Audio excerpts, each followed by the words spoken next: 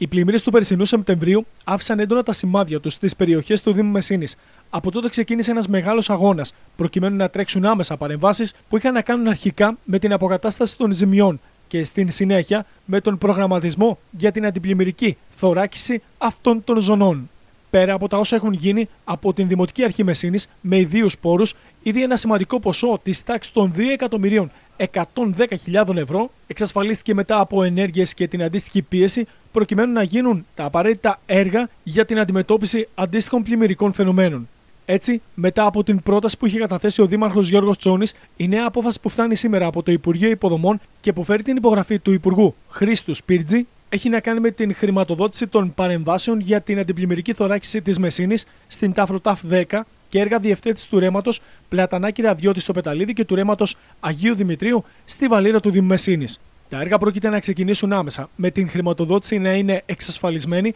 από τη Διεύθυνση Αντιπλημμυρικών και Εγκυοβελτιωτικών Έργων του Υπουργείου Υποδομών.